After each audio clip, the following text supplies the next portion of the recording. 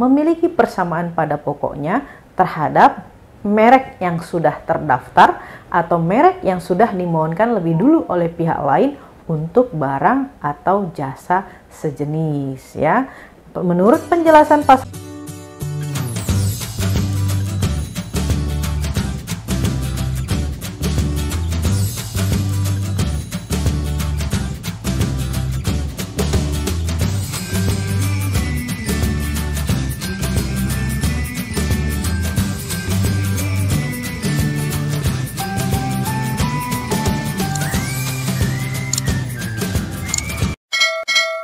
Assalamualaikum warahmatullahi wabarakatuh. Ketemu lagi dengan Rensmart, konsultan haki terdaftar resmi di DJKI.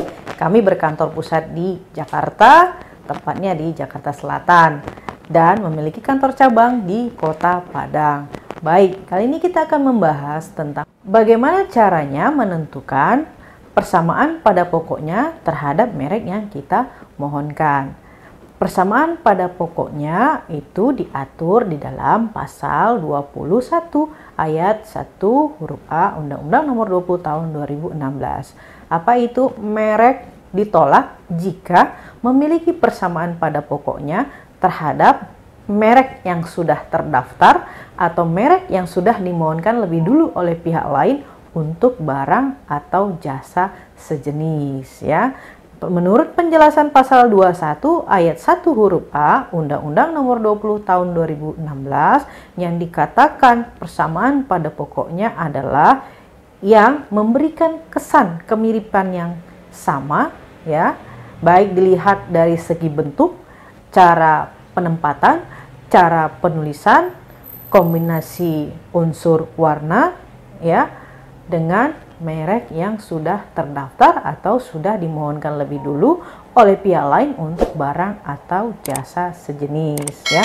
Jadi kalau dari uraian tersebut bisa kita simpulkan ada tiga unsur ya yang dapat dinilai apakah merek yang kita mohonkan ini memiliki persamaan pada pokoknya atau tidak. Yaitu pertama dilihat dari persamaan konseptual. Yang kedua persamaan secara visual dan yang ketiga, persamaan secara fonetik. Persamaan secara konseptual ya. Konseptual itu dilihat dari merek yang kita mohonkan ya. Merek yang kita mohonkan secara konseptualnya itu diambil dari apa? Misalnya dilihat dari apa? Filosofi kata mereknya ya atau filosofi dari logonya ya. Nah, itu yang akan dilihat ya dibandingkan dengan merek yang sudah terdaftar atau sudah dimohonkan lebih dulu untuk barang atau jasa sejenis. Selanjutnya persamaan secara fonetik. Fonetik itu adalah bunyi ucapan. Jadi kita uh, cek merek yang kita mohonkan secara bunyi ucapan dengan merek yang sudah terdaftar atau sudah dimohonkan lebih dulu untuk barang atau jasa sejenis apakah memiliki uh, kesamaan secara bunyi ucapannya ya. Apakah ada kemiripan jika merek yang kita mohonkan diucapkan dengan merek yang sudah terdaftar diucapkan juga memiliki uh, kesan kemiripan yang sama secara bunyi ucapan ya. Nah, ini harus dilakukan pengecekan. Nah, tiga hal itu akan menjadi komponen yang dilakukan dalam uh, penilaian pemeriksaan persamaan pada pokoknya ya. Jadi secara visual, secara fonetik dan secara konseptual. Nah, penilaian dilakukan harus secara menyeluruh dari label merek yang kita mohonkan dengan yang sudah terdaftar atau sudah dimohonkan lebih dulu untuk barang atau jasa sejenis. Jadi tidak bisa dipenggal-penggal atau dipisah-pisah ya. Jadi harus dinilai secara keseluruhan, secara utuh dari label merek dilihat dari visual, konseptual maupun fonetiknya.